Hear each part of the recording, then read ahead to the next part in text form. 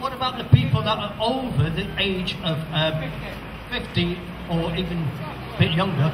What's happening with them? I mean, there's no jobs for people like us. I think this is a, a problem all over the country, but we, we're concerned about Leicester.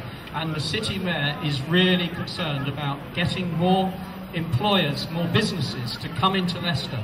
But they, they need to have the confidence that Leicester's a good place to be. And I think what he's doing is, is quite good for that. I mean, we love Leicester, so let's get the message out to employers. Uh, we, we had the Chamber of Commerce up here, well, I didn't think they came up and spoke, but they were here earlier. They're really important that they get the message that this is a good place to invest. Uh, the, there is another organisation called the Local Enterprise Partnership, which works across Leicester, Leicestershire, and, uh, Leicester and Leicestershire, and they're putting a lot of resources into helping businesses to get going. So if, if a company wants to come to Leicester or Leicestershire and they need extra support to get if they're going to build or develop somewhere, then they can get some support to do that. They're also uh, having some funds for available for small businesses, which is the bedrock of, uh, of this city in terms of the economy.